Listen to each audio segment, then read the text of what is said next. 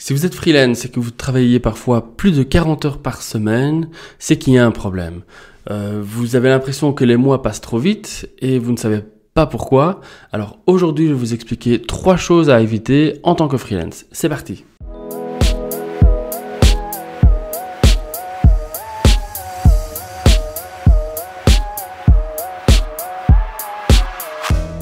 Pour me soutenir, pensez à vous abonner à la chaîne.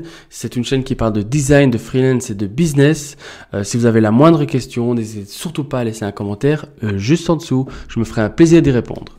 Alors on a tous vu les comptes Instagram avec des grandes images et des textes en gras où il y a marqué euh, lâchez rien, allez-y, faut rien lâcher, euh, faut faut tout donner, faut bosser beaucoup, on n'a rien sans rien, il faut souffrir pour réussir, enfin plein de choses hyper motivantes que j'avoue j'aime beaucoup aussi.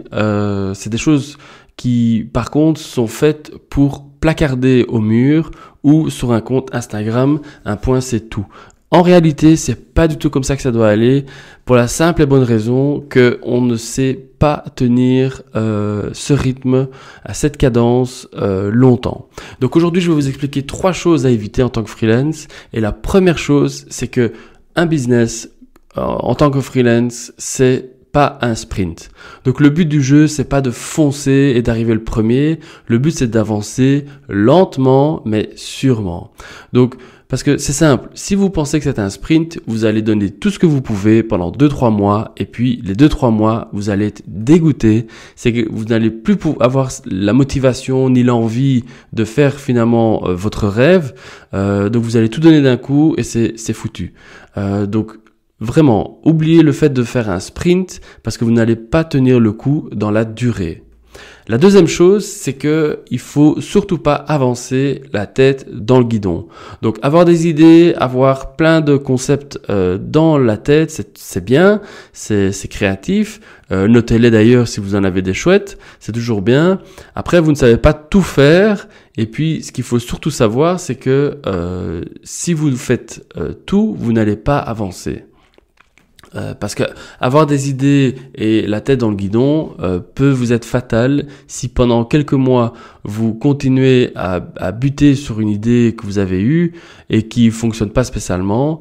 Euh, si à un moment donné vous vous remettez pas en question, si vous changez pas l'idée de base euh, pour l'adapter, ben vous allez vous retrouver face à un mur et puis vous allez être déçu et de nouveau vous allez baisser les bras euh, pour des, bêtises euh, que, vous auriez pu éviter. Donc si vous avez une idée, n'avancez pas tête dans le guidon. Moi je vous conseillerais de d'en parler autour, de vous et de mettre en pratique au plus vite euh, quoi que vous avez comme idée. Euh, faites-le sous forme de maquette, faites-le comme vous voulez, mais essayez d'avoir un retour le plus rapidement possible pour que vous, vous évitez de perdre du temps.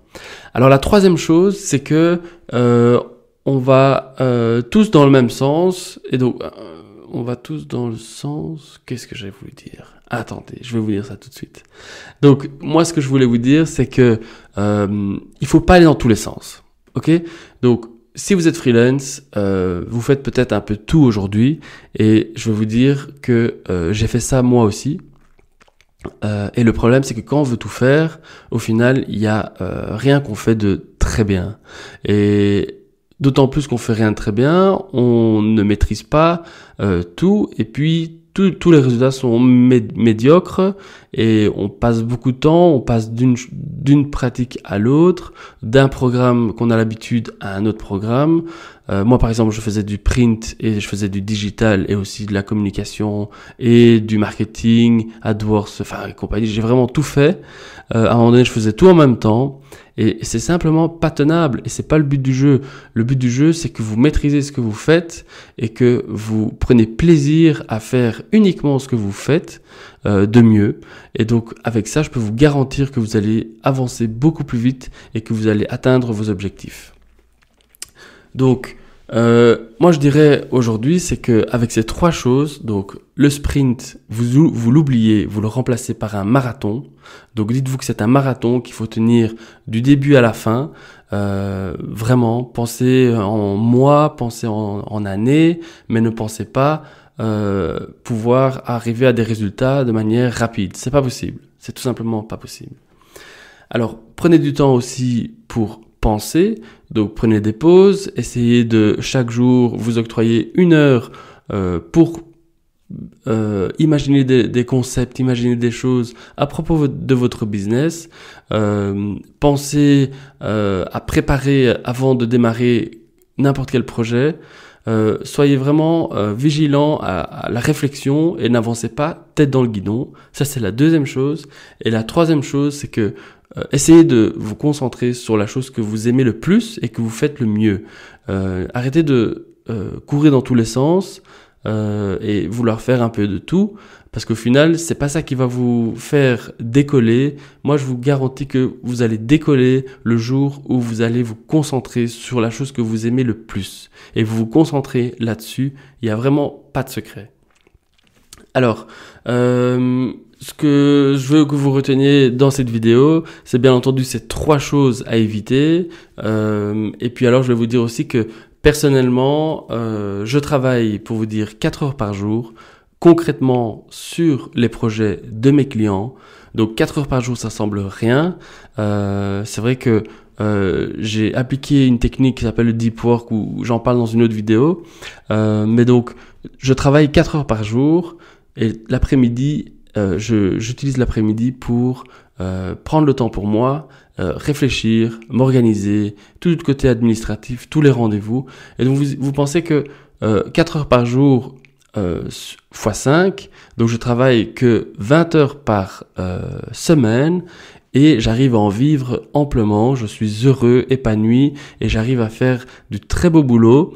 Et donc je voulais partager cette vidéo avec vous parce que si vous êtes dans la situation où vous ne savez pas euh, où vous allez, que vous vous dites euh, j'ai plus d'énergie, ben c'est probablement parce que vous avez vécu ces trois erreurs qu'aujourd'hui je vous invite à éviter et à changer votre manière de penser.